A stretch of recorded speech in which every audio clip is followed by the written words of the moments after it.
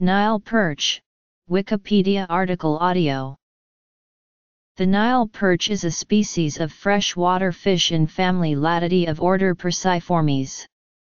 It is widespread throughout much of the Afrotropic ecozone, being native to the Congo, Nile, Senegal, Niger, and Lake Chad, Volta, Lake Turkana, and other river basins. It also occurs in the brackish waters of Lake Maryut in Egypt. The Nile perch is a fish of substantial economic and food security importance in East Africa. Originally described as Labrus niloticus, among the marine wrasses, the species has also been referred to as Centropomus niloticus. Common names include African snook, Victoria perch, and a large number of local names in various African languages, such as the Luo name Mbuta or Mbuta. In Tanzania, it is called Sangara, Sankara, or Chinku. In Francophone African countries, it is known as Capitaine and in Egypt-Sudan as Amkal. Its name in the Hausa language is Juwanruwa, meaning water elephant. Lake Victoria Introduction Fishery Notes Lates niloticus is silver in color with a blue tinge. It has distinctive dark black eyes, with a bright yellow outer ring.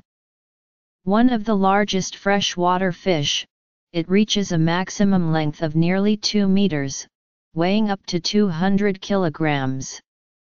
Mature fish average 1.21-1.37 meters, although many fish are caught before they can grow this large. Adult Nile perch occupy all habitats of a lake with sufficient oxygen concentrations, while juveniles are restricted to shallow or nearshore environments. A fierce predator that dominates its surroundings, the Nile perch feeds on fish, crustaceans, and insects, the juveniles also feed on zooplankton. Nile perch use schooling as a mechanism to protect themselves from other predators. Nile perch have been introduced to many other lakes in Africa, including Lake Victoria and the artificial Lake Nasser. The IUCN's Invasive Species Specialist Group considers L. niloticus one of the world's 100 worst invasive species. The state of Queensland in Australia levies heavy fines on anyone found in possession of a living Nile perch, since it competes directly with the native barramundi, which is similar and grows to 1.8 meters long while the Nile perch grows to 2 meters long. The species is of great commercial importance as a food fish. The Nile perch is also popular with sport anglers, as it attacks artificial fishing lures and is also raised in aquaculture. The introduction of this species to Lake Victoria is one of the most cited examples of the negative effects alien species can have on ecosystems. The Nile perch was introduced to Lake Victoria in East Africa in the 1950s, and has since been fished commercially. It is attributed with causing the extinction or near extinction of several hundred native species, with some populations fluctuating with commercial fishing and the actual Nile perch stocks.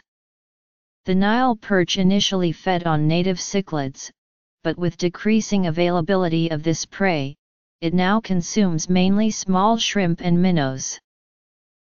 The fish's introduction to Lake Victoria was ecologically disruptive. In 2003, Nile perch sales to the EU reached 169 million euros. Sport fishing in the region of Uganda and Tanzania provided additional income from tourism. The long-term outlook is unclear, as overfishing is reducing L. niloticus populations. The alteration of the native ecosystem had disruptive socio-economic effects on local communities bordering the lake. Many local people have been displaced from their traditional occupations in the fishing trade and brought them into the cash economy or before the establishment of export-oriented fisheries turned them into economic refugees. At least initially, nets strong enough to hold adult Nile perch could not be manufactured locally and had to be imported for a high price. The introduction of Nile perch has also had additional ecological effects on shore. Native cichlids were traditionally sun-dried, but because Nile perch have a high fat content, they need to be smoked to avoid spoiling. This has led to an increased demand for firewood in a region already hard hit by deforestation, soil erosion, and desertification.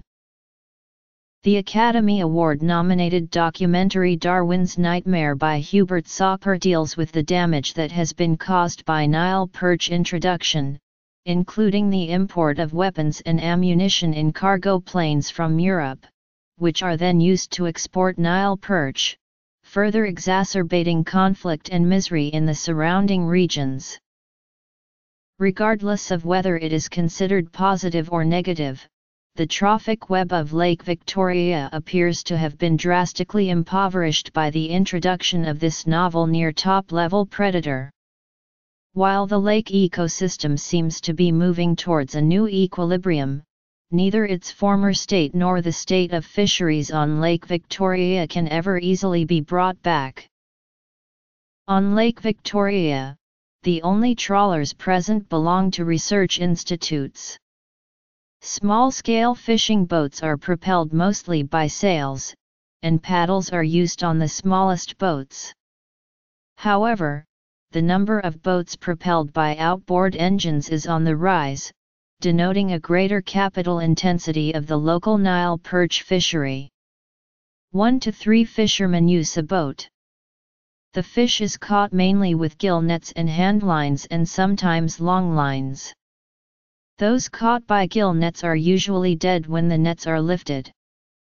The fish are kept in the boat without protection or ice and taken to landing sites, mostly beaches, where they are weighed and purchased by company buyers using insulated boats or vans with ice, or the fish is bought by local women. The fishery also generates indirect employment for additional multitudes of fish processors, transporters, factory employees, and others. All along the lakeshore, boom towns have developed in response to the demands of fishing crews with money to spend from a day's fishing. These towns resemble shanties, and have little in the way of services. Of the 1,433 landing sites identified in the 2004 frame survey, just 20% had communal lavatory facilities, 4% were served by electricity, and 6% were served by a potable water supply.